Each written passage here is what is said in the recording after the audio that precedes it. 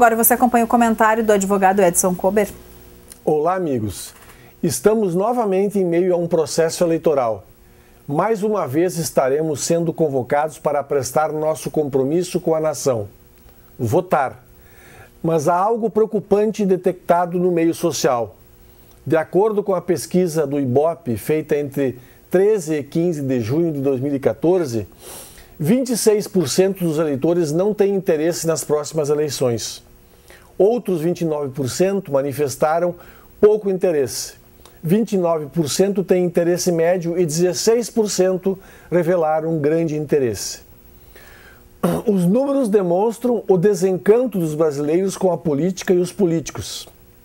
Se esse desânimo se confirmar, as próximas eleições terão uma ampliação do número de eleitores que optará pelo voto em branco ou nulo ou pela abstenção.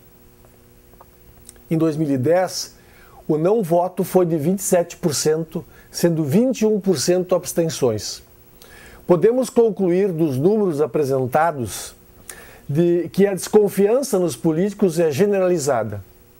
Olha, esse desencanto com a política não é bom para qualquer país, principalmente com o nosso, pelas dimensões que tem. Se não tivermos participação, o debate se estreita e a democracia encolhe e não se aperfeiçoa. Se as coisas não estão bem, não é fugindo que vamos conseguir inverter o quadro que aí está.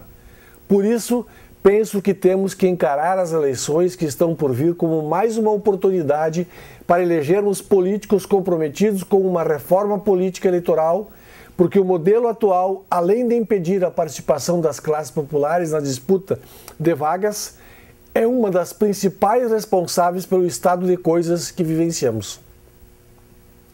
Acho que o caminho não é se eximir, é justamente fazer o sentido inverso participando ativamente do processo eleitoral, conhecendo os candidatos, escolher os melhores e votar para eleger candidatos comprometidos com os anseios populares. Esse é o nosso papel de cidadãos.